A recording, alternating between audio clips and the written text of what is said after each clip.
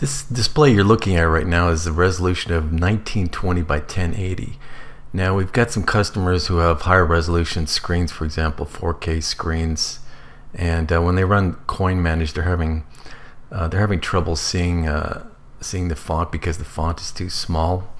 Now we have a what I would consider a partial solution. We're, we're going to come up with a more comprehensive solution this year, but you can increase the size of this uh, of, of, the text in this list view here and the way you do that is you go to tools preferences then you're going to click on uh, down here at the bottom you got font height for list of coins you can just put it up to 24 click OK now nothing happens. Now you have to exit the program and come back in And you can see here it's been increased now. In most cases, you're going to want to increase the size of your columns. Just do that by dragging and moving them over. And there you go. Now, like I said, we're going to uh, have a more comprehensive solution which kind of detects the resolution of your monitor and, and increases the text size all over the program, not just for the list view.